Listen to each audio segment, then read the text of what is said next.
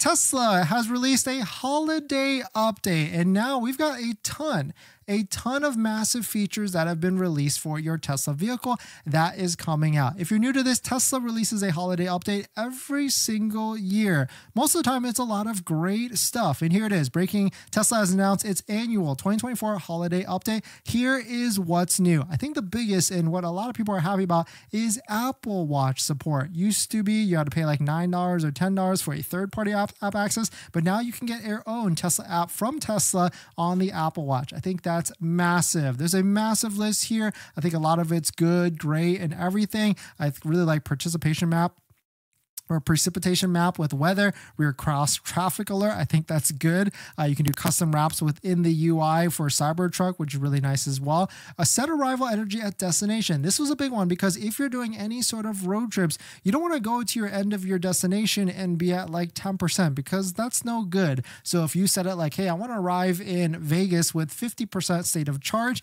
then it's going to route you to charge more stops during your route so that you don't arrive dead when you get to Vegas because it's no good if you arrive at your destination with nothing left. This is another big one. Save dash cam and Sentry mode clips to phone. Nowadays, with it, it used to be really hard. You had to do those three apps or something like that to get those clips. Now that you can save to your phone, you can post it on X or whatever you want. Because of course, there's like Tesla Wham Bam and all these different places to really share what's going on with your Tesla vehicle out there. And the list goes on and on, but really cool to see another holiday update that's coming out.